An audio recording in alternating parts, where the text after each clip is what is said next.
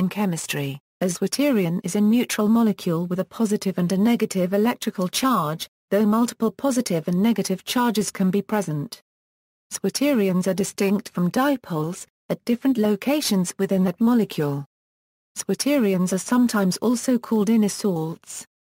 Unlike simple amphoteric compounds that might only form either a cationic or anionic species depending on external conditions, a zwitterion simultaneously has both ionic states in the same molecule.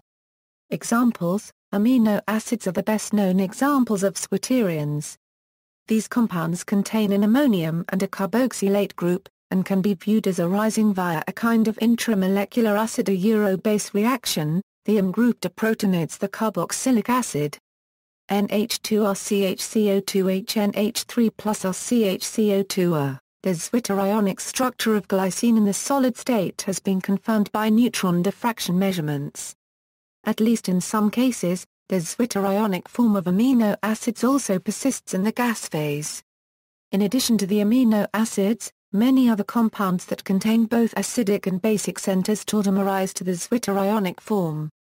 Examples, such as bicine and tricine, contain a basic secondary or tertiary amine fragment together with a carboxylic acid fragment. Neutron diffraction measurements show that solid sulfamic acid exists as a zwitterion. Many alkaloids, such as lysergic acid and psilocybin, exist as zwitterions because they contain carboxylates and ammonium centers. Many zwitterions contain quaternary ammonium cations. Since it lacks Na-Euro-H bonds, the ammonium center cannot participate in tautomerization. Zwitterions containing quaternary ammonium centers are common in biology, for example betaines, which serve as electrolytes in fish. The membrane-forming phospholipids are also commonly zwitterions. The polar head groups in these compounds are zwitterions, resulting from the presence of the anionic phosphate and cationic quaternary ammonium centers. Related compounds, dipolar compounds are usually not classified as zwitterions. For example amine oxides, which are often written as a 3N plus O, are not zwitterions in terms of the definition, which specifies that there are unit electrical charges on atoms.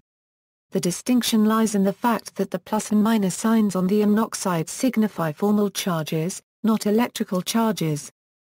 Formal charges are used in valence bond theory for some canonical forms used to construct a resonance hybrid. In fact another theoretical representation of an amine oxide uses a dative covalent bond of permyl with no formal charges. Other compounds that are sometimes referred to as zwitterions, mistakenly according to the definition above, include nitrones and dipolar compounds, such as a 1,2-dipole and a 1,3-dipole. References